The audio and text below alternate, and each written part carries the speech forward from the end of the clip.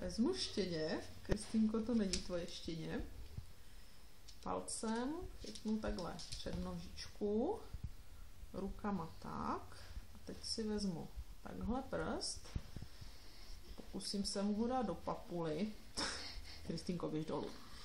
Někdy, někdy to štěně jak leze, tak prvně je potřeba si kápnout trochu mlíka na prst, snažit se mu takhle pomasírovat tlamičku, ona se otevře, strčit tam ten prst třeba i násilím, že někdy se nechce držet.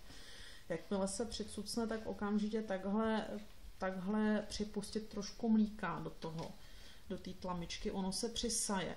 A pak už se jenom krásně takhle palcem podepře hlavička a těma zbylejma prstama taky. A štěně krásně, krásně žere, krásně pije. Jo, takhle u toho sedím vždycky, mám je podepřený a takhle stačí i jednou rukou se člověk naučí natáhnout zase nový mlíko, bacha, aby to mlíko nebylo pak moc studený nebo horký.